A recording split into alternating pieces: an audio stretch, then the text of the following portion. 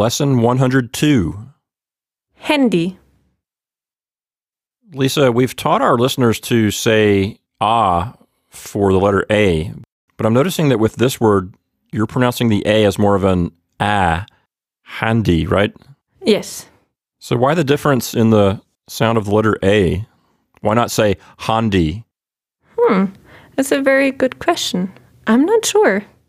I Um, always ask great questions. I know. Yes.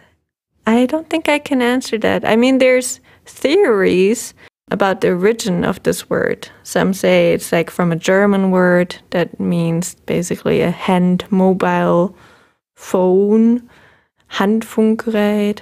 Some say it comes from the English handy. And there's really no telling, I guess, anymore where it originated. So they don't know how this word came to mean cell phone or mobile phone? Well, there's different theories, so I I could not find out until now what is the real story behind this word. Maybe, Hmm. maybe if somebody digs deep. Uh, task for Bill? It's an etymological mystery. Yes.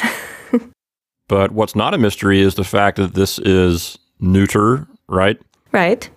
And it's going to take an S for its plural form in the nominative plural. Yes.